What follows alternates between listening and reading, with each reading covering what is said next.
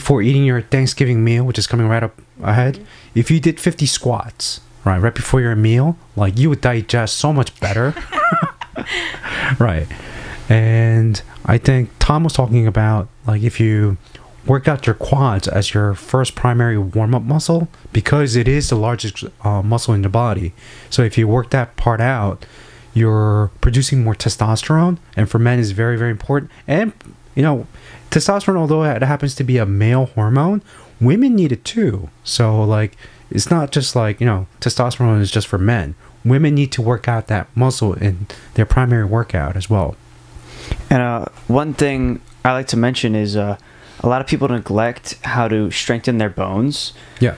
So uh, things like impact training, like jumping, you know, jump rope, and uh, push-ups where you'll kind of leave the ground. Mhm. And like I, I like to do push-ups where I'll push up and then I'll put my hands on something at a higher level elevation and then come back.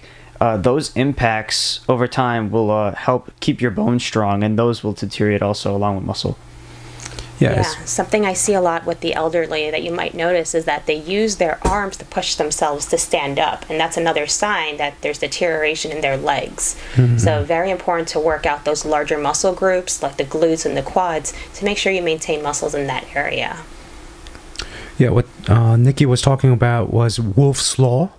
Uh, based on how much pressure and weight that you put on your bones, uh, the calcium builds up more to it, and also goes to show that you know a lot of people out there needs to take a combination of ca- a good balance of calcium, magnesium. Calcium it makes your muscles harder. Magnesium also makes your muscles looser. Uh, Vitamin D as well for the bone strength. Vitamin D. yeah, yeah, vitamin D, uh, about 5,000 IUs per day. Uh, better if you take it at night than compared to the day.